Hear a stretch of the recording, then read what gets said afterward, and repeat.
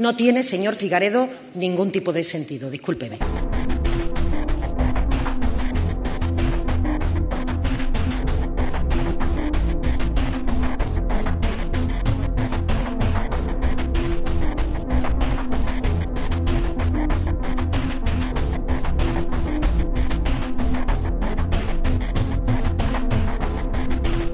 En el anterior ejercicio fiscal su gobierno obtuvo la recaudación récord eh, tributaria. Nunca jamás en España se habían recaudado tantos impuestos. Y esto lo obtuvieron después de subir hasta en 54 ocasiones los impuestos, tipos fiscales, tasas, etcétera.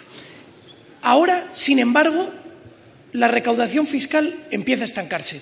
Y parece lógico. Parece que su plan fiscal hace aguas. Y, sin embargo, Ustedes han aprobado el martes un incremento del techo de gasto, es decir, prevén ustedes gastar más y, por lo tanto, debemos intuir que también prevén recaudar más. Y eso en un contexto en el que la economía va a la baja, lo cual nos hace intuir que su sadismo fiscal se va a incrementar. Ahora, sadismo fiscal. Es que tienen ustedes una imaginación a la hora de buscar en el diccionario que la verdad es que sorprende. Vamos a ver, su pregunta dice que si vamos a seguir subiendo impuestos cuando se está perdiendo recaudación. ¿Usted se ha mirado los datos, señor Figaredo? Pues entonces no lo sabe leer. Si se los ha mirado, no lo sabe leer.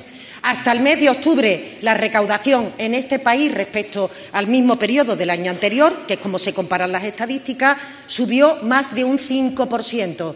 Por tanto, su pregunta ya, por su formulación. Su única opción para cumplir con ese techo de gasto y, por lo tanto, de recaudación que se han planteado es seguir subiendo los impuestos. ¿Y seguir subiéndoselos a quién? A las clases medias y trabajadoras, a las pymes, a los autónomos, a esos que son a los que ustedes exprimen y les sacan el jugo. Al español de a pie cada día le cuesta más llegar a fin de mes. Y, sin embargo, ustedes siguen incrementando la presión sobre ellos y sobre quienes no incrementan la presión.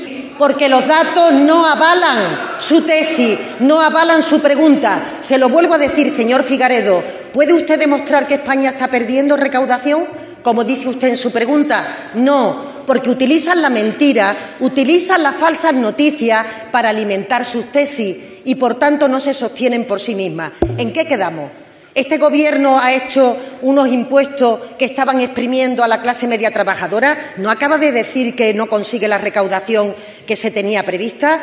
¿Usted sabe que este Gobierno ha hecho la principal bajada fiscal que se ha hecho en toda la historia de la democracia?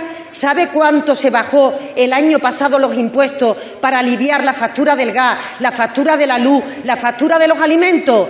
Más de siete mil millones de euros. Señor Figaredo, nunca jamás en la historia de este país. Ahora sí, nosotros bajamos los impuestos a la clase media, a la clase trabajadora. Ustedes bajan los impuestos donde gobiernan con el Partido Popular a los ricos, a las multinacionales, a las empresas. Esa es la diferencia. Justicia fiscal.